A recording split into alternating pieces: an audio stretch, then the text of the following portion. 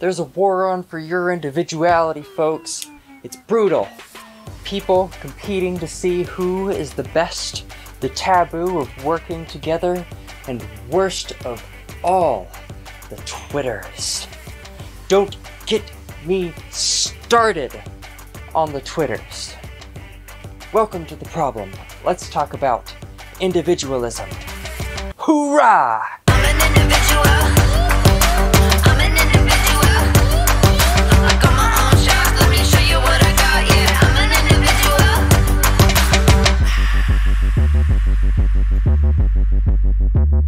I was going to make a different video, but I felt like the problem became the depressing video, and uh, so I think it might be best to start with Alfie Kohn, the author of No Contest The Case Against Competition. When it comes to competition, we Americans typically recognize only two legitimate positions enthusiastic support and qualified support. He continues on to suggest that in current, in current society, we encourage and lionize competition while demonizing the increasing evidence in favor of cooperation as the most productive mode of education, work, and provision. That may sound extreme, if not downright un American, but some things aren't just bad because they're done to excess. Some things are inherently destructive. A competition which simply means that one person can succeed only if others fail uh, is one of those things. I'm sure y'all have been losers at one competition or another. Most people lose in most competitive encounters, and it's obvious why that causes self doubt. But even winning doesn't build character, just kind of lets someone gloat temporarily. Studies have shown that feelings of self worth became dependent on external sources of evaluation as a result of competition. Your value is defined by what you've done. Worse, you're a good person in proportion to the number of people you've beaten. Now, this is what I mean by lionizing competition. We praise people who have beaten every other person in their field, gained their success by climbing ladders made of daggers stabbed into the backs of colleagues and friends alike, made enemies of their allies, allies of their enemies, burned all of their bridges and salted the earth beneath them. That doesn't really sound too healthy.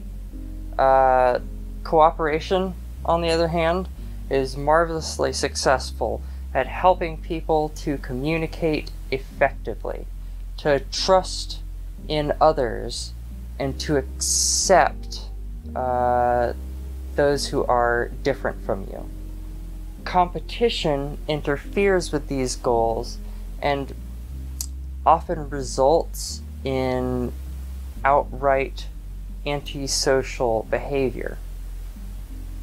The choice is ours. We can blame the individuals who uh, cheat, turn violent, or withdraw, or we can face the fact that competition itself is responsible for such ugliness. Competitive groups are much less likely to succeed as a whole than uh, collaborative groups. Uh, think about it. If you had a class assignment, would you be more likely to get all of the answers correct if you work together or if you work strictly apart? Research shows the work together choice to be correct, unsurprisingly. You might think, well, yeah, but that's cheating. So, why is working together so much better to the point that it's considered cheating? Also, it's something that comes to us naturally. We kind of can't help but cooperate. In a study by uh, Issartel, Marin, and Cadopi in 2006, uh, participants were incapable of resisting automimicry, the phenomenon described as a group's innate and automatic copying and synchronizing of actions. Not that all of that is good, of course, but when uh, utilized properly, it can turn a group of strangers into a superorganism known as a group or cadre. The uh, effect seems to be strengthened by those sharing similar goals, and especially within groups that are accepting of others regardless of who or what they are. Which brings me to the elephant in the room.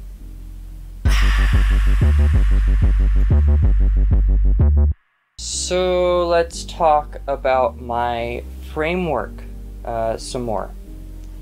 I have stated that I use a holistic framework here. I try to make all the right connections. I uh, advocate for action that goes beyond the individual.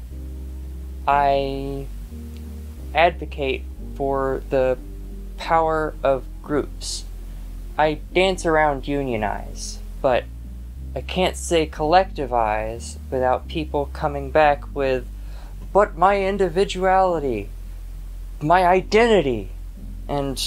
Uh,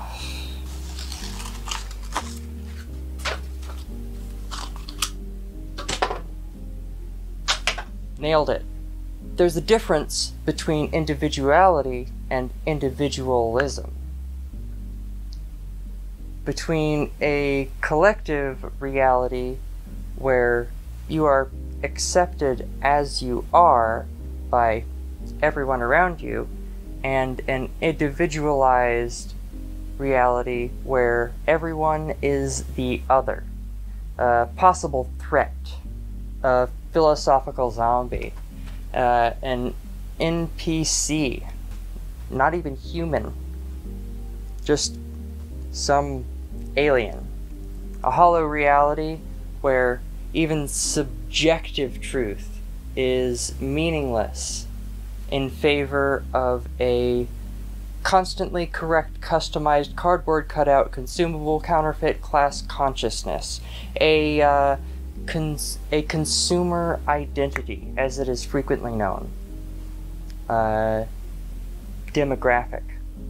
Yet, whenever I see anything about collectivism in uh, American pop culture, it's some individualist hive mind scaremongering nonsense like. Me too. Oh no, the spooky collectivist is gonna change your values and views. They're gonna turn you into them. We are Borg. You will be assimilated. And then you're gonna lose your identity.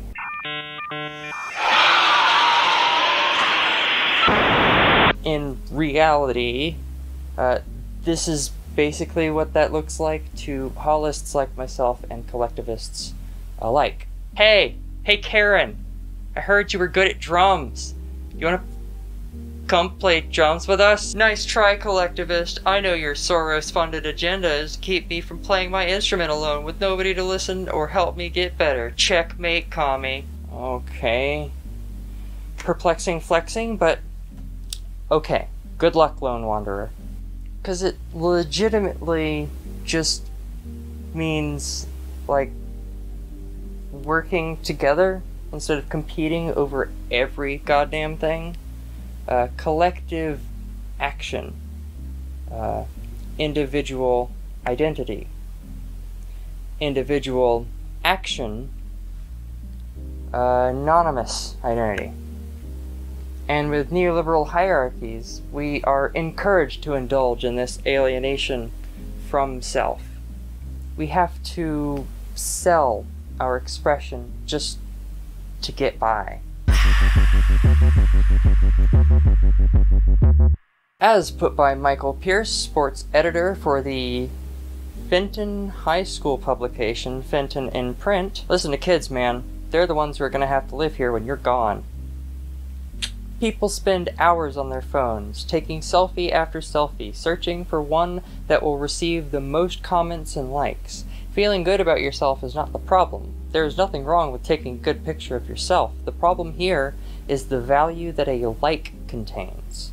What does a like actually mean? Absolutely nothing. A like is just a number on a picture that increases when someone else double taps it. It is literally worthless.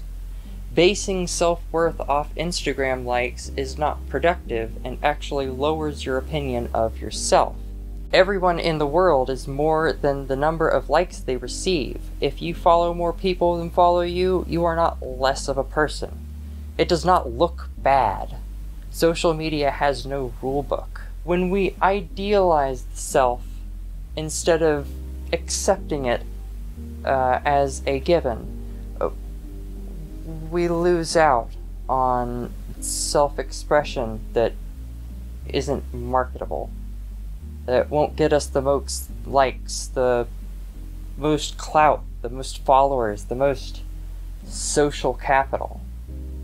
We have marketized the self and given worth to ourselves by way of market forces, and this vilifies non standard behavior. Are you a beat poet in the 21st century? Excellent, cool.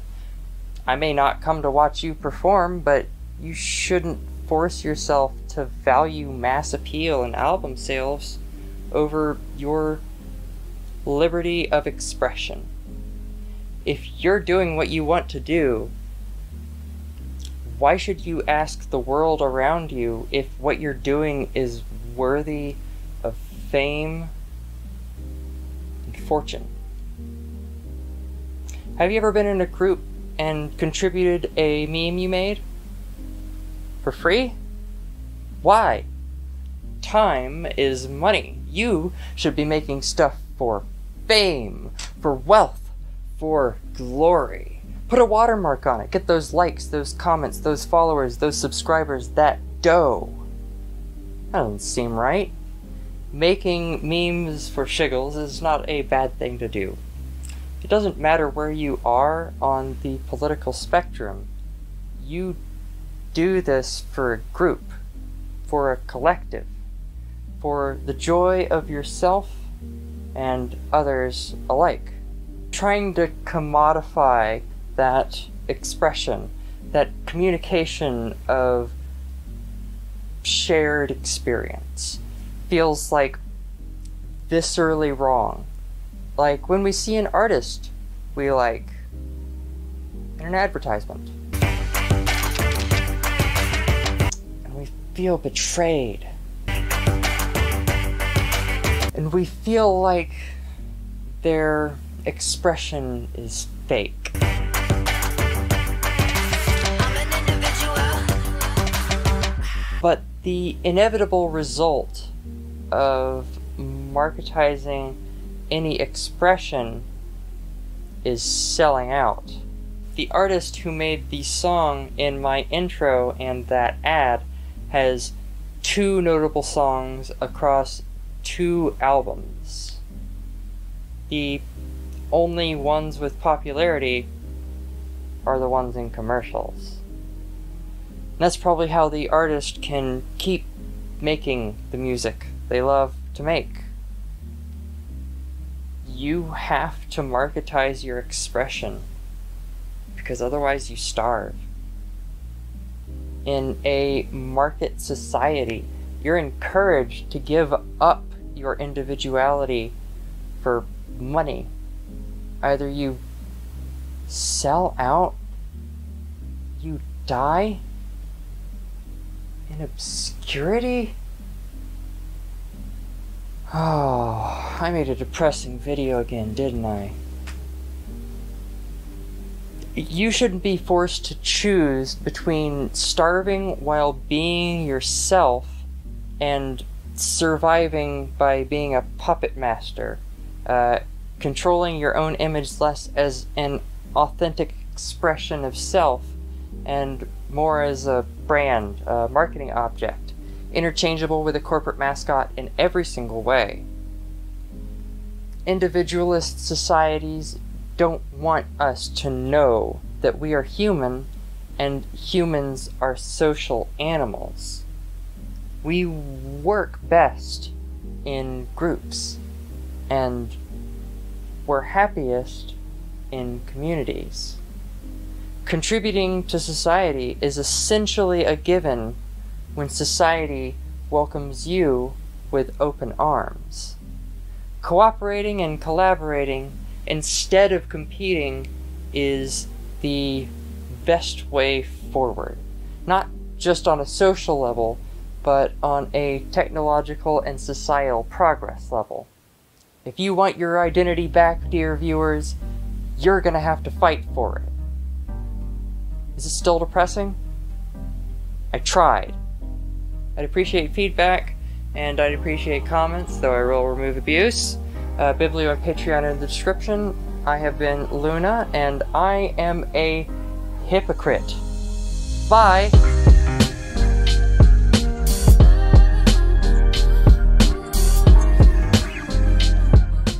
So, instead of a joke, I'd like to send y'all to some further reading on this topic from a couple videos that came out while I was working on this one. The first one is by Jack Saint, and it covers some of the nastiest individualistic media on TV, and another from Suck My Opinion on the whole topic of time is money. Y'all should subscribe to these folks, but especially Suck My Opinion. Gotta spread the love for my fellow Southerners out here on the internet. Fireworks, great. Hell yeah, America.